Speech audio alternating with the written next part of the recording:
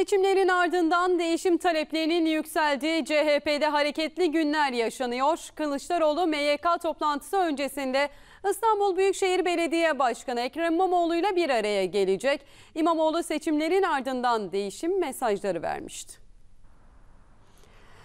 Cumhurbaşkanı Erdoğan'ın seçim zaferinin ardından gözler CHP'ye çevrildi. Millet İttifakı'nın adayı olarak seçimlere katılan Kılıçdaroğlu, CHP Genel Başkanlığı görevine devam edeceği yönünde mesajlar veriyor.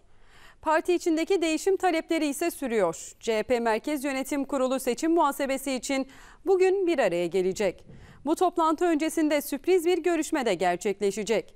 Kemal Kılıçdaroğlu seçimin ardından değişim mesajları veren Ekrem İmamoğlu ile görüşecek.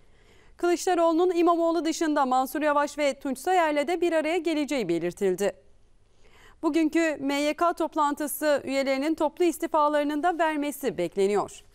CHP liderinin bazı genel başkan yardımcılarını başkan yardımcılarıyla yolunu ayırmasına da kesin gözüyle bakılıyor.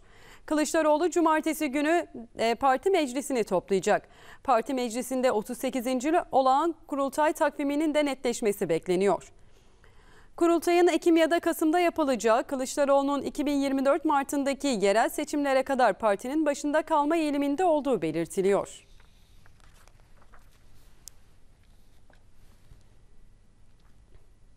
Daha fazla video izlemek için kanalımıza abone olabilir, ilk izleyen olmak isterseniz bildirimleri açabilirsiniz.